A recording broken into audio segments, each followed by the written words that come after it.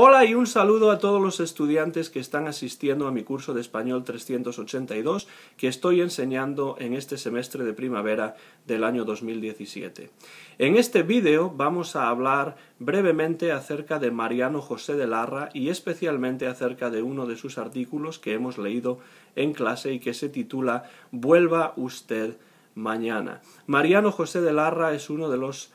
autores más importantes del romanticismo español y además de ser escritor fue también periodista y también político. Larra sin duda escribió algunos de los artículos periodísticos más importantes y además también escribió alguna novela histórica, pero es precisamente por los artículos periodísticos por lo que más se le recuerda y además eh, este vuelva usted mañana es sin duda uno de los artículos más conocidos y más importantes entre los muchos que escribió Larra. Si hablamos de vuelva usted mañana, tenemos que hablar primero acerca del periodismo. El periodismo se desarrolla enormemente en España y en Inglaterra y en Francia y en otros países europeos y también en los Estados Unidos durante el siglo XIX. Es un momento de desarrollo de las publicaciones periódicas, de los periódicos, de los semanarios, eh, etcétera eh, y dentro de este contexto en el que el periodismo tiene mucha importancia, muchos escritores escriben para publicar en los periódicos y esto es algo que hace también Mariano José de Larra con sus artículos eh, periodísticos. En estos artículos periodísticos, eh, Mariano José de Larra suele introducir comentarios sociales y políticos, muchas veces bajo el seudónimo o pen name de Fígaro. Y eh, sus artículos suelen tener mucho humor, suelen ser muy satíricos y en muchos casos muy críticos, pero también de una manera muchas veces muy sutil. Vuelva usted mañana es un artículo en el cual eh, nos encontramos con una conversación entre eh, Larra y un personaje sin duda ficticio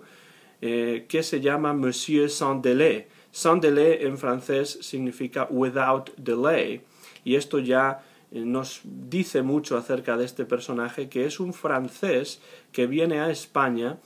para mm, eh, hacer ciertos negocios y él piensa que se va a quedar en España aproximadamente 15 días y que en esos 15 días va a ser capaz de concluir, finalizar sus negocios. Cuando Larra escucha que Monsieur Sandelé le dice esto, él se ríe y dice que de ninguna manera en 15 días va a conseguir terminar estos negocios porque en España mm, los negocios no se realizan de una manera tan eficiente como en otros países, como por ejemplo puede ser Francia, que es lo que está acostumbrado a ver, a conocer Monsieur Sandelé. Entonces Larra acompaña a Monsieur Sandelé a eh, tratar de eh, completar, de hacer estos negocios, pero siempre que eh, Monsieur Sandelé intenta ah, pues dar un paso más para eh, hacer estos negocios eh, siempre recibe la misma respuesta, vuelva usted mañana, vuelva usted mañana, vuelva usted mañana, de manera que mm, nunca llega a conseguir hacerse nada. Eh, y estos negocios no van adelante debido a que la única respuesta que consigue Monsieur Sandelé es vuelva usted mañana. Eh, obviamente, en este artículo, mm, Larra contrapone la ineficacia de España con la eh, supuesta eficacia de otros países europeos como Francia. Eh, Larra conocía Francia porque Larra vivió durante un cierto tiempo en Francia y entonces debemos suponer que sabía de lo que hablaba en este artículo. Eh, en este artículo vuelve usted mañana de una manera satírica, de una manera crítica, de una manera humorística.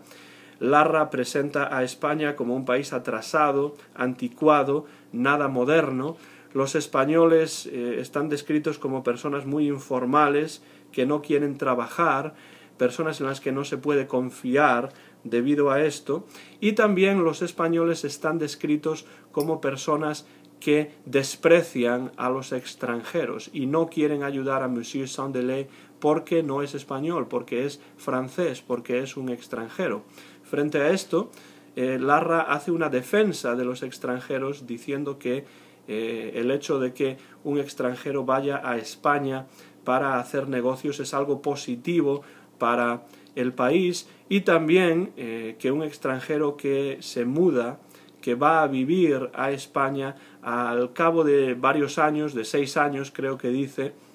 ya no es realmente extranjero porque le toma cariño a la tierra española, le toma cariño a España, eh, probablemente se casa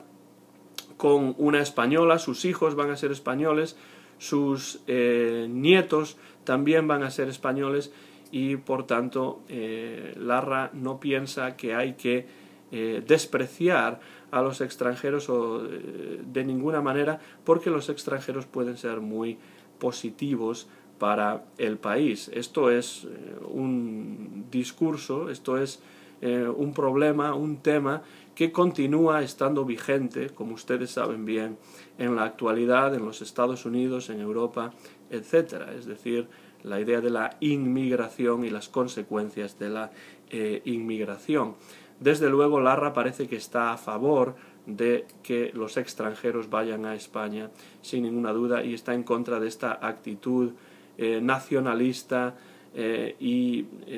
poco comprensiva con los extranjeros que tenían muchos españoles durante el siglo XIX si leemos este texto de Larra. Algo curioso y algo gracioso está en la parte final de este